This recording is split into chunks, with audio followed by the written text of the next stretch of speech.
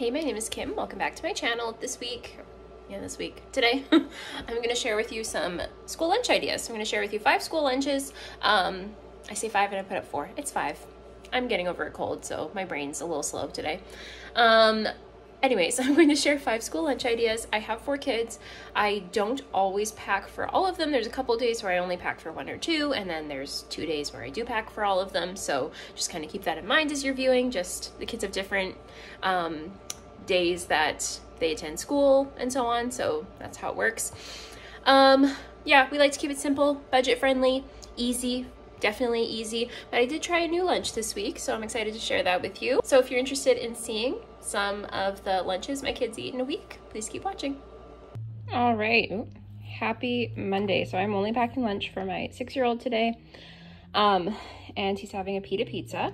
So I just put a little bit of sauce and cheese and I baked it in the air fryer for five minutes. Funny story, this is the third time I've made this. It is first thing in the morning right now. And um, I made this last night. I was letting it sit on the counter and cool.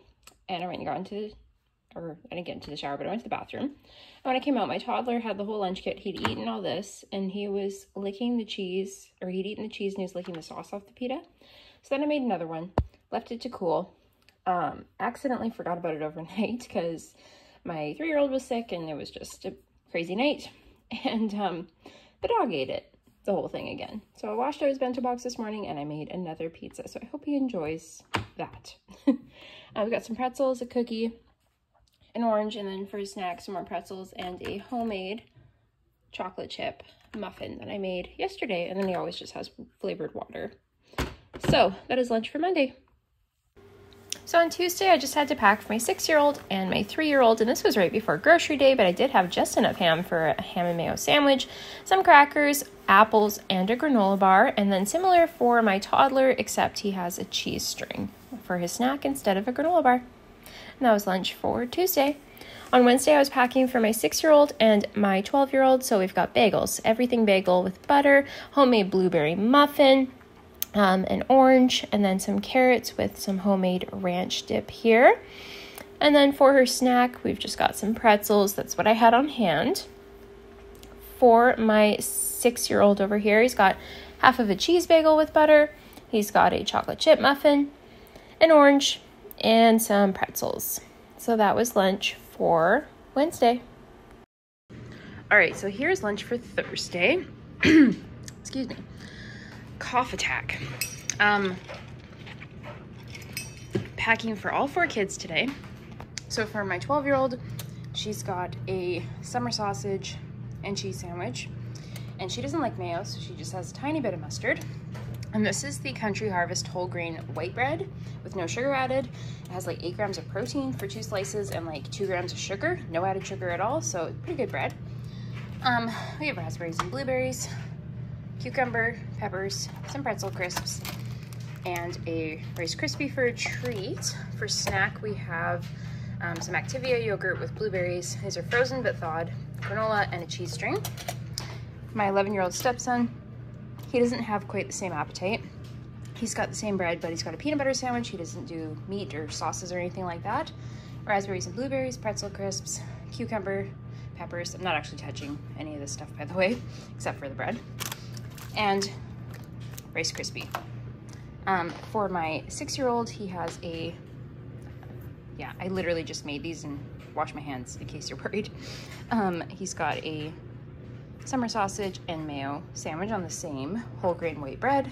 He doesn't like berries, so he, he likes grapes, he likes apples, bananas, oranges, stuff like that. So he's just got some oranges, pretzels, granola bar, and Rice Krispie, and then for my three-year-old, I know it's so funny, my three-year-old eats so much more than my six-year-old.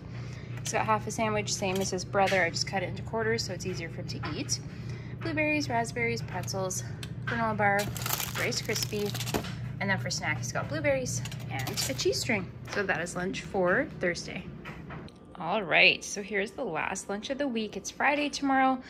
It took me a while to get my toddler to bed, so I'm up pretty late doing these. Um, but here's what we have. So Fridays, we often do snack lunches. It's usually like homemade Lunchables, basically, with like lunch meat, crackers, cheese, stuff like that, or like trail mix, crackers, hard-boiled egg for um, the kid who does not eat meat and cheese. But I wanted to do something a little bit different, and it's hard to think of things my kids will like and eat regularly. But um, I was thinking the other day about the Starbucks protein bistro boxes they used to have. I'll put a picture in here. I don't think my Starbucks has them anymore, but I used to get them all the time years and years ago. And I thought, you know what? I think that has things that all of my kids would like. The only thing I didn't have was grapes. So that wasn't included um, because actually when I went to the grocery store the other day, they were totally out of grapes, which is weird, but otherwise I would have added that too. Anyways, here's what I do have. I will take you through each lunch and show you. So we've got some naan bread, and this was left from our, uh, like, what was it we had last week? Like chicken tikka masala last week. And so perfect opportunity to use it up. Um, got some mozzarella cheese, some peanut butter for the naan. Oh gosh, I touched the peanut butter. Um, apple slices and hard-boiled egg. These are all things that used to come in the bistro box. It would be like this and grapes. Surprisingly filling for a small amount of food. So I think this will be good for my 12-year-old. But I packed her snack too. We've got some frozen strawberries with yogurt, homemade granola, and a uh, granola bar.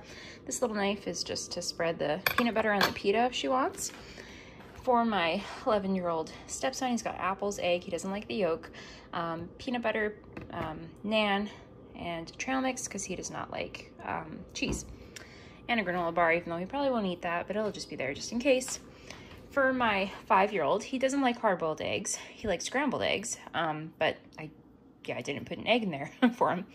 Um, so he's got a couple pieces of mozzarella cheese, peanut butter, naan. I gave him a slice of summer sausage instead um, apples, a yogurt drink. And then for my three-year-old, normally he'd probably need a bit bigger of a snack than this, but I'm actually picking up these two early for an appointment tomorrow, so they don't need a lot of food. Um, I would have given him an egg because he pretty much tries anything I give him, but I only had two, so I gave those to the older kids that I knew would eat them. So instead he's got summer sausage too, cut up into pieces. I put the peanut butter directly on his naan for him to make it easier. Hopefully it's not super messy, but I think it'll be all right. Um, cheese. I needed something to fill the space, so granola bar, apple slices, and a drink or a yogurt drink. And that is lunch for Friday.